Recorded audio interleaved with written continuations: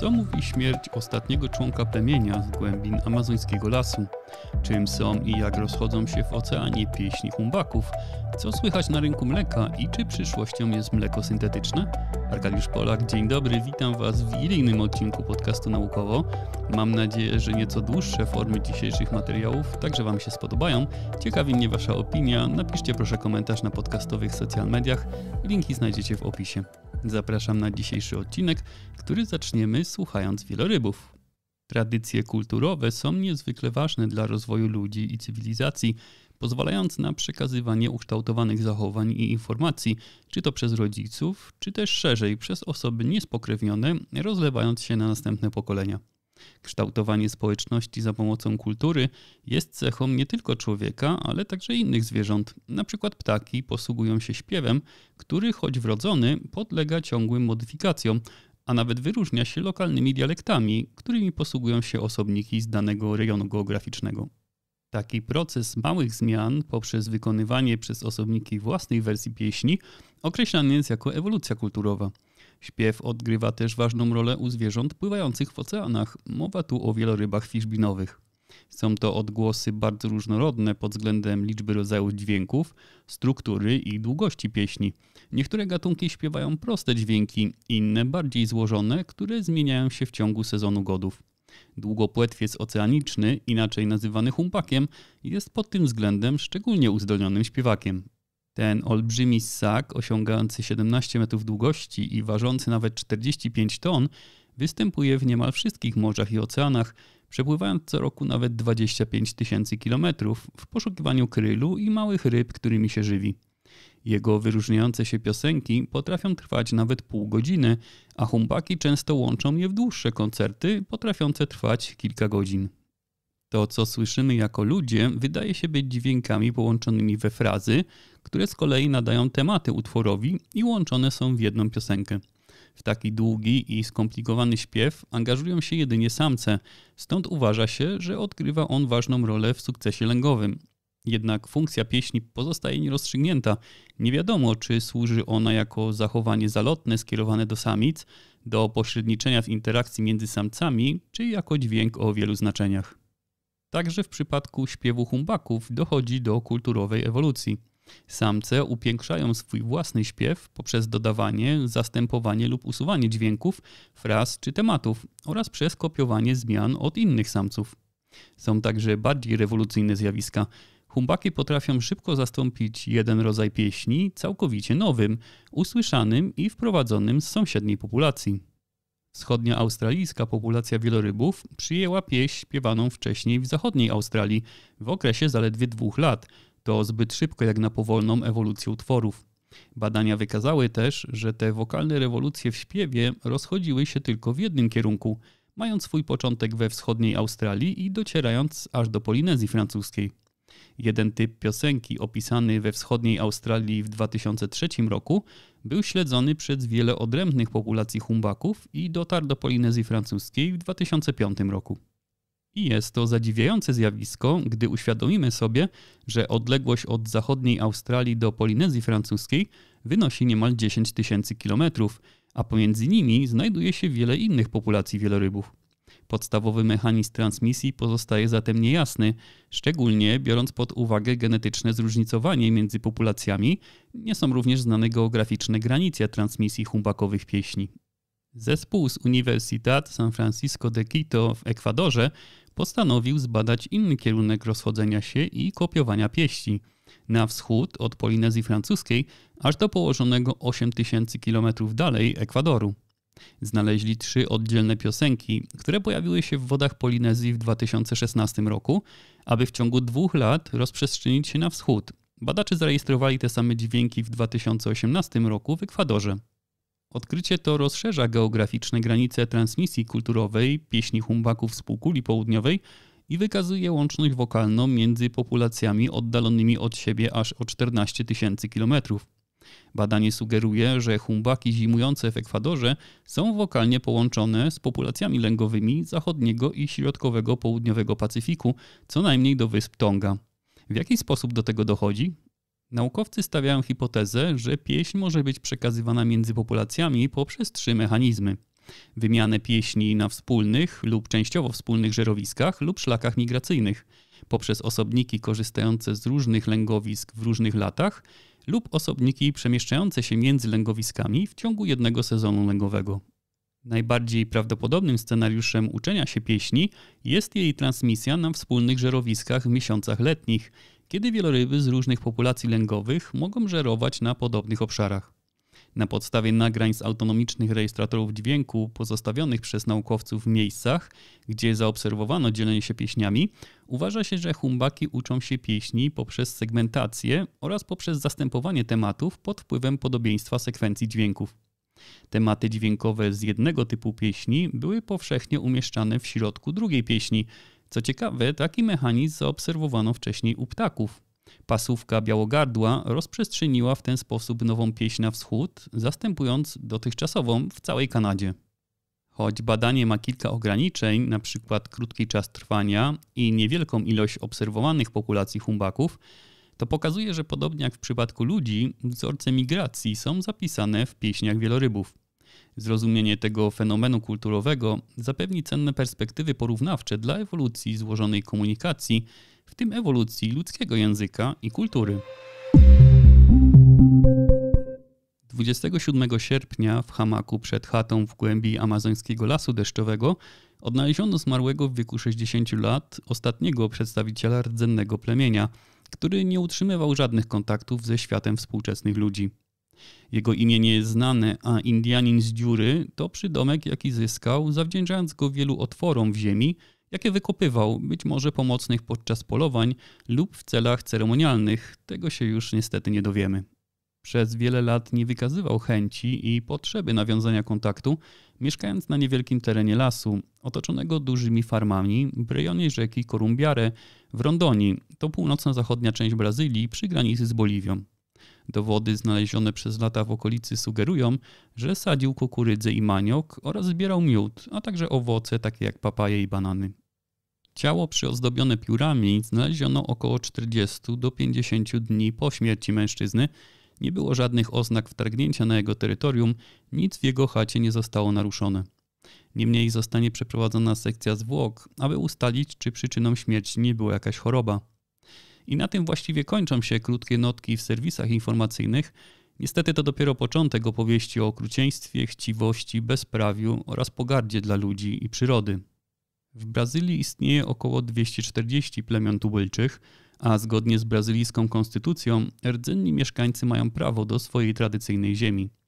Oczywiście przepisy te są całkowicie nieskuteczne i nikt ich nie przestrzega, a już na pewno nie rolnicy i biznesmeni zarabiający na wycince lasów deszczowych.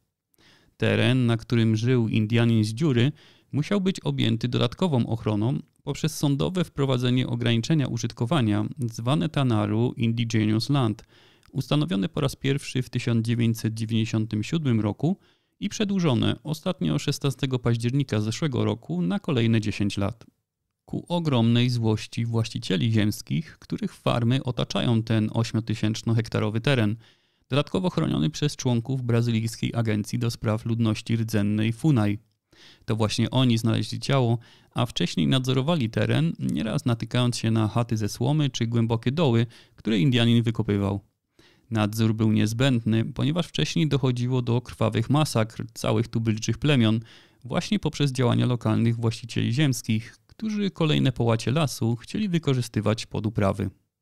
Region Rondonia był pierwotnie porośnięty lasami deszczowymi o wielkości 200 tysięcy km2, a dziś jest jednym z najbardziej wylesionych obszarów Amazonii, bo wykarczowano tam ponad 1 trzecią lasów.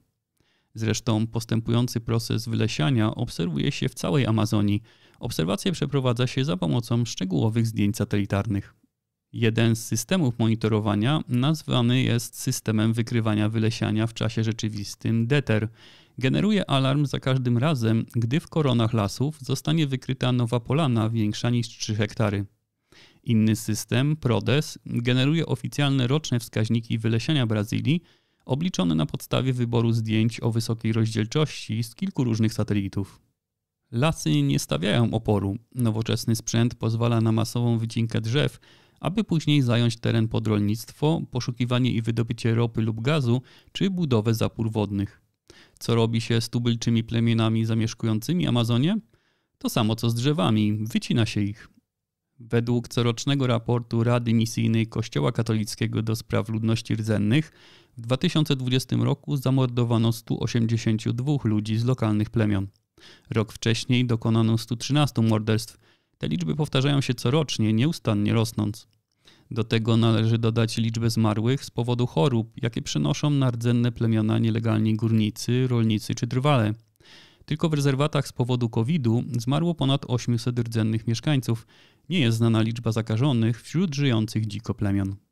Także plemię Indianina z Dziury zostało wymordowane częściowo już w latach 70., prawdopodobnie przez rancherów chcących powiększyć swoje ziemię. W 1995 roku sześciu pozostałych członków jego plemienia zginęło w ataku nielegalnych górników. Przeżył wówczas jako jedyny i ostatni przedstawiciel plemienia. Odpowiedzialność karna? Żadna. Nigdy nie ustalono, nie odnaleziono i nie ukarano sprawców wymordowania całego plemienia. Odpowiedzialność polityczna? Żadna. Aktualny prezydent Brazylii, Jair Bolsonaro, to człowiek aktywnie przyczyniający się do niszczenia amazońskiego lasu.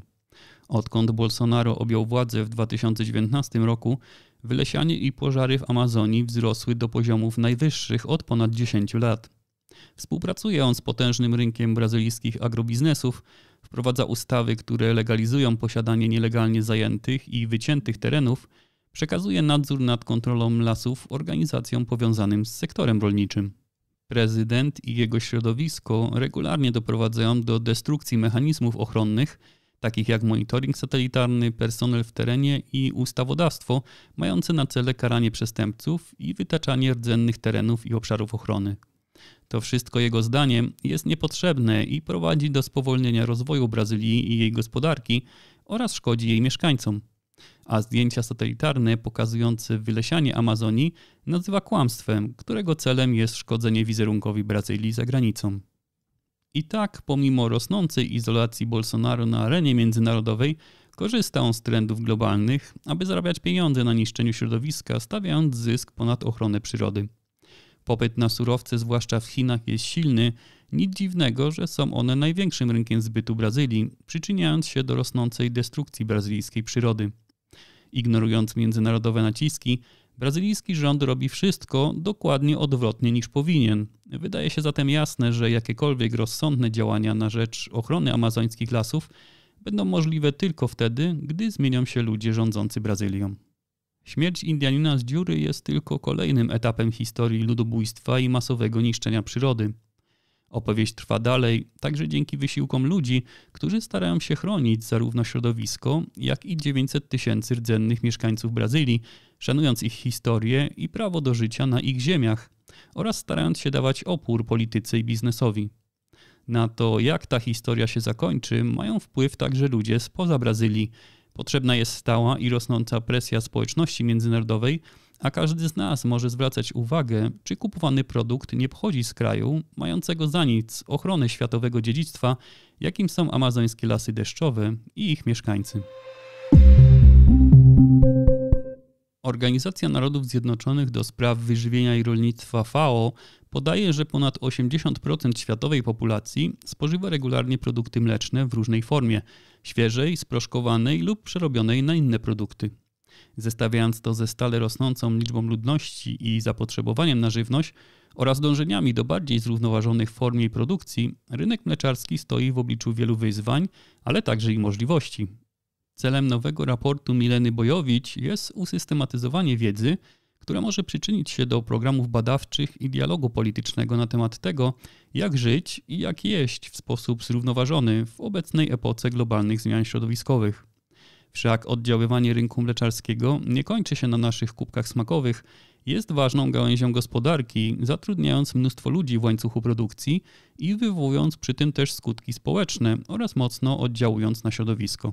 W skali globalnej wyraźnie widać zmiany w produkcji i konsumpcji mlecznych wiktuałów, uwzględniając skalę i geografię, ale także powiększanie kapitału rynku mleczarskiego, areałów upraw czy liczby zwierząt hodowlanych. Rośnie też świadomość skutków oddziaływania mleczarstwa na środowisko, a przez to pojawiają się też alternatywy dla mleka. W nowym badaniu autorzy przeanalizowali mnóstwo raportów i prac badających rynek mleka i jego oddziaływanie społeczno-ekonomiczne.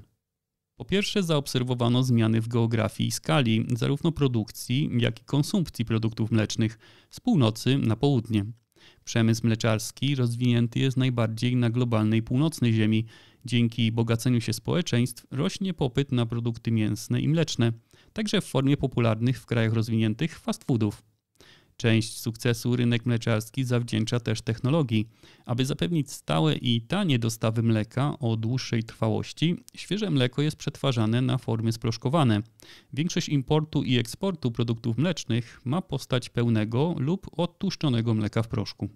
Prognozach sięgających roku 2030 widać, że spożycie produktów mlecznych będzie najszybciej rosło na globalnym południu, napędzane przez wzrosty w Indiach i Chinach. Szacuje się, że w ciągu najbliższej dekady sektor mleczny wzrośnie tam o około 1 trzecią. Niestety stanie się to kosztem małych gospodarstw i społeczności wiejskich, ponieważ współczesne, zaawansowane technologicznie mleczarstwo wymaga nakładów pieniędzy, a nie pracy, co rodzi pytania o to, kto będzie czerpać korzyści z ekspansji mleczarstwa na globalnym południu. I jest to kolejny trend zaobserwowany przez autorów analizy. Tradycyjnie produkcja mleka była oparta na małych gospodarstwach wypasających krowy. Niestety ekonomia skali faworyzuje duże korporacje, które mają środki, aby inwestować w nowe technologie zwiększające produkcję i rentowność całego biznesu, eliminując całkowicie mniejsze gospodarstwa z rynku.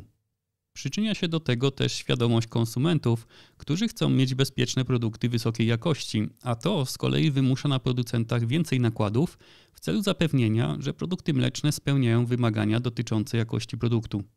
W efekcie linie produkcyjne pochłaniają coraz więcej energii, od zbioru mleka poprzez procesy pasteryzacji i homogenizacji, aż do przechowywania, pakowania i dystrybucji, te łańcuchy wymagają olbrzymich nakładów energii.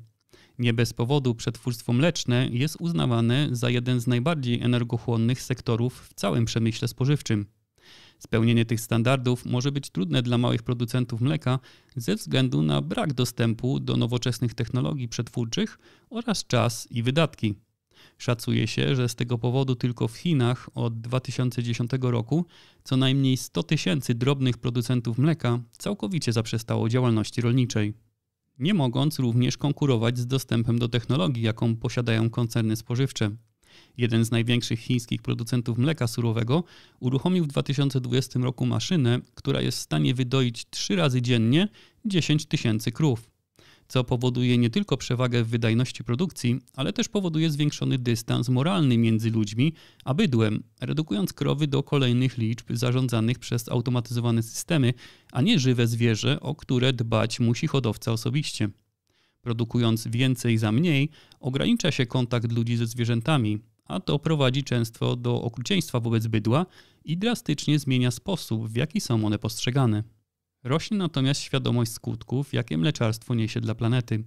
Degradacja gleby, zasolenie, wylesianie, zanieczyszczenie wód i metan produkowany przez zwierzęta wymieniać by można długo, wychodząc poza obszar samego rolnictwa.